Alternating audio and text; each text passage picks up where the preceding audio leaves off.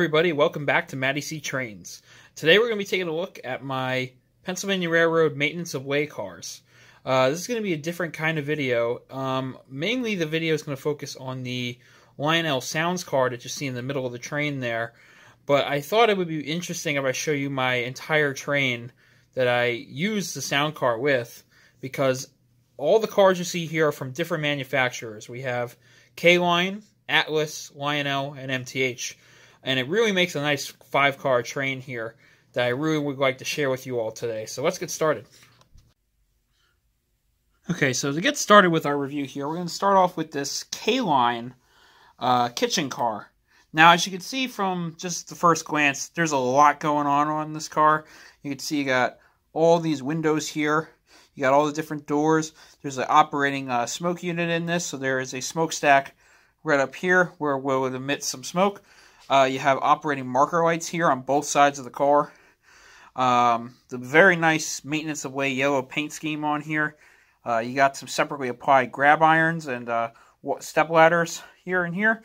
You have a door that opens up here on the side of the car, which is really cool. Uh, that's to get uh, the crews to walk in and out of the car. I find this to be a very unique uh, model because you just don't see this in any other from any of the other manufacturers, and I just find it very fascinating. So before we move on to the next car, I thought I would show you guys how this car looks when it's lighted up. So here's the car all lit up very nicely. Um, it's a incandescent light bulb in this. I probably at some point will upgrade it to LED lighting, but for now it looks fantastic regardless. As you can see, you have the operating marker lights I was telling you guys about with red and green on all sides. It just looks fantastic and very realistic. Uh, you can also see in the car uh, a load of separately uh, details going on in there. There's uh, seats and crew figures that are all separately painted. Just a fantastic car to look at once again. Here's the side there. You have some legible uh, numbers and so forth and rivets. Just an awesome little car that I highly recommend if you can find one. Uh, again, this was made by K-Line. Uh, and now we're going to take a look at a completely different manufacturer uh, to go along with the rest of the consist. So let's take a look. Okay, taking a look at the next car in the set that I have here.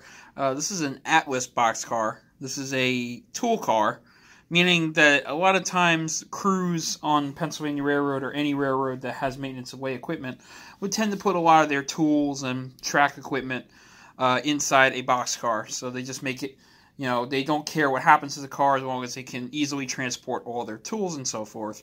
So that's what this car pretty much I'm trying to use it for as. Um, so it's a highly detailed car. This is from their master line. Uh, as you can see again, uh, we have a lot of separate uh, handrails uh, on both sides of the car.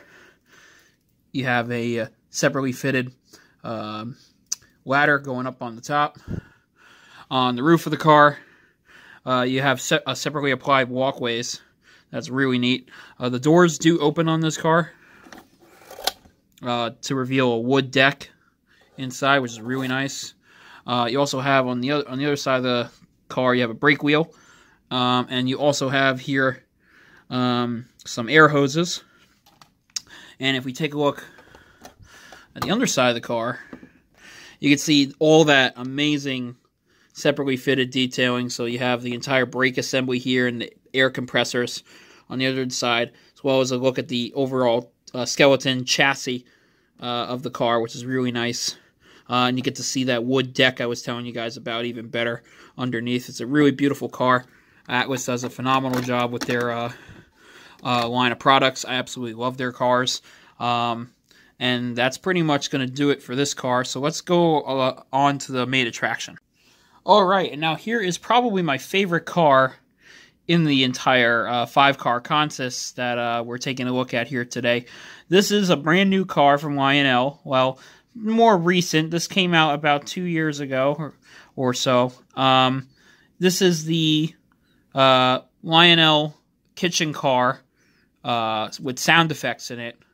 Um, this is an absolutely beautiful car. It's highly detailed. Um, and the sounds are absolutely incredible, and I can't wait to share them with you today. But first, I want to go over some of the details of the car. Um, so as you can see, right off the bat, you have all this awesome separately applied uh, handrails going up to the top of the car. You have the step step shoes here. Uh, you have the windows, which is really nice. They're tinted windows, so you can't see the electronics inside the car, which is very nice. There's LED lights in this car. Um, you have on the top a very nice separately applied uh, smokestack uh, with the uh, support beams to keep the stack up from falling over. It was really nice. The doors do not open, but they are still very cool regardless. Uh, and now let me show you the other side of the car. So taking a look at the opposite side of the car, you can see all the uh, separately applied uh, other details here. You have the separately fitted uh, brake wheel that goes all the way down to the truck, which is really cool. You have the separately fitted uh, ladder going up to the top. You have another look at the awesome smokestack exhaust vent for uh, the the cook inside the kitchen. Uh, it's really nicely fitted on there. It's all it's made out of plastic, but it looks really cool. And the top of the vent actually uh, changes side to side. You can change which side you want, which is really nice. Um, taking a look at the underside of the car. Once again, you can see all that separately fitted detailing, uh, the chassis and the brake assembly, and the wood deck. Just absolutely gorgeous.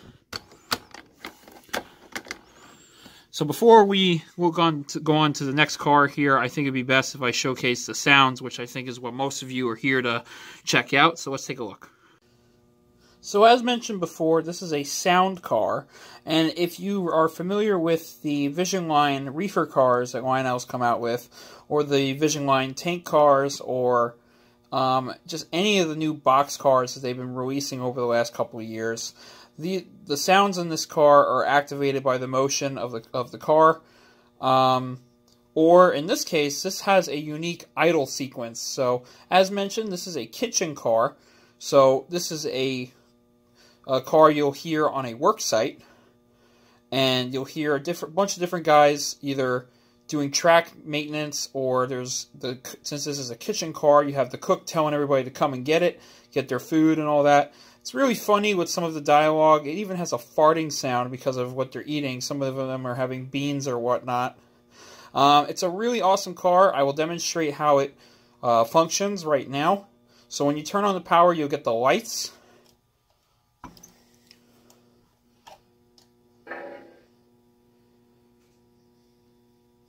And if you give it a minute, there we go.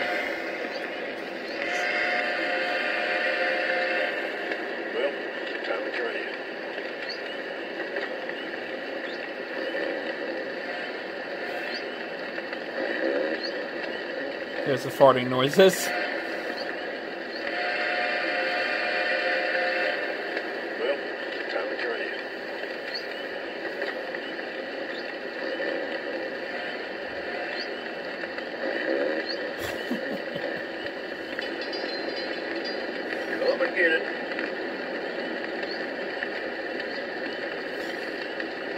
Now this this sound car also has uh, screeching wheels as well as clickety clack. And what's cool is it is that it will go faster or slower depending how fast the car is going. So I'll demonstrate that now.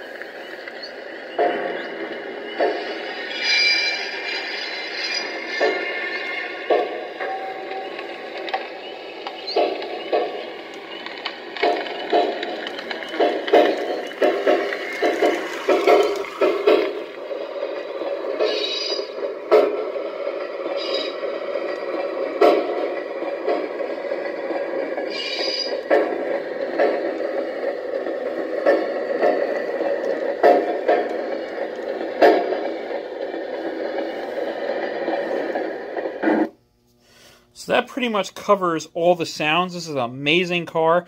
I like to put this in the middle of my trains because it just adds to it. And the sounds are just phenomenal. It really brings your train to life in addition to the locomotive sounds. It just makes the train feel more realistic and it's like you have a real train on your railroad. Uh, that being said, let's take out check out the final two cars of the set. Alrighty, so here we have the last two cars of this consist that I want to show you today. Uh, we have here the MTH Premier uh, Crane and Crane Caboose. Um, these two cars do not get seen here on YouTube a whole lot. Um, everyone knows about the Lionel Crane car, But to me, I think the MTH crane car is a lot more detailed and a lot more accurate to something you would have seen on the rails back in the day.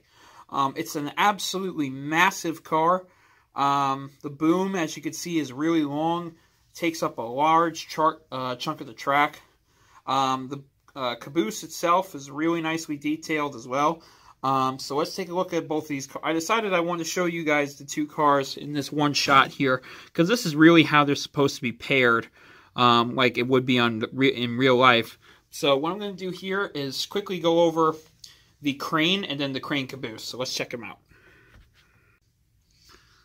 So as I mentioned before, this car is absolutely massive, as you can see. It barely fits on my screen here. Um, it is, to me, a more detailed and more accurate crane than the than the Lionel uh, automatic crane is, in my personal opinion. I've seen this actual prototype in person at the Pennsylvania Railroad Museum in Strasburg, PA, and the model itself is depicted very accurately. Um, you have a loads of separately applied things going on here. Uh, starting off with the boom itself, the boom is massive, as you can see. Um, and then you have the three different hooks here. This hook here that I'm pointing at is functional. Um, the second one is just decorative, and the third is also decorative. Uh, but nonetheless, very cool. You have three different uses of different hooks for different uses on a railroad. Um, the actual chassis itself that you see here is all die-cast metal, so there's a lot of great weight to this car. Um, everything else you see is plastic, but the actual, the trucks and the chassis itself are all die-cast metal, which is amazing. You can see all the separately fitted rivets, the molded in rivets. It just looks great. You have crisp Pennsylvania Railroad lettering on it, as well as a keystone on the boom itself. Um, but what's really cool is in the middle of the car, and the rear of the car. So let's check those out.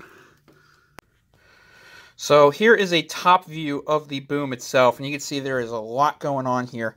Here is the mechanism that goes into the cab of the uh, crane itself, which will allow you to adjust um, how you want this crane positioned, because this is locked in. The interesting thing about this car is you get these two porthole windows here, um, and in the box separately are these two little uh, twist mechanisms that allow you to change the position of the crane itself. Um, in my case, I'm going to leave it the way it is because I think it's appropriate level. But if you raise it high enough, the latch will open. And the latch reveals the insides of the mechanism. Which is really cool to see that. And then you have all these ropes and wires that go into the cab like you would in real life. The gear linkage and everything is really cool to look at. Uh, you have all the uh, the support and the skeleton that keeps the boom intact, which is really nice.